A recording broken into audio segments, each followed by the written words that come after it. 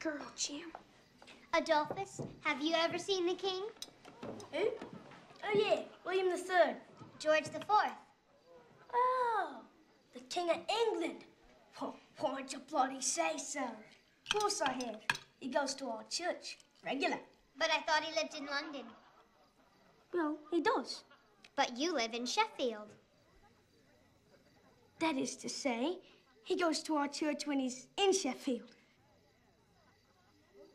Do you go to church? Well, of course I do. We got our own pew right up front. Whose pew? Why, yours. Your Uncle Harvey's, of course. What would he need a pew for? Isn't he preaching up in the pulpit? I think I see him. My thoughts exactly. Now, do you suppose there ain't but one bloody blinking preacher to a bloomin' church? What would they want more for?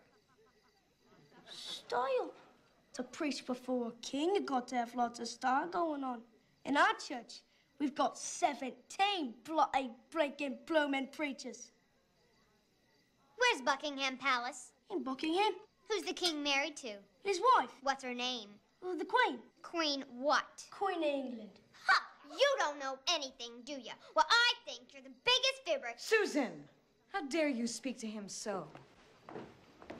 And him being a stranger in a strange land, so far from his own people. He was telling a few stretchers and I wasn't swallowing them.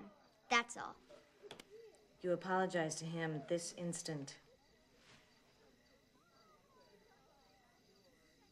I apologize, Adolphus. You're a dear, sweet boy. I'm ashamed I called you a fibber.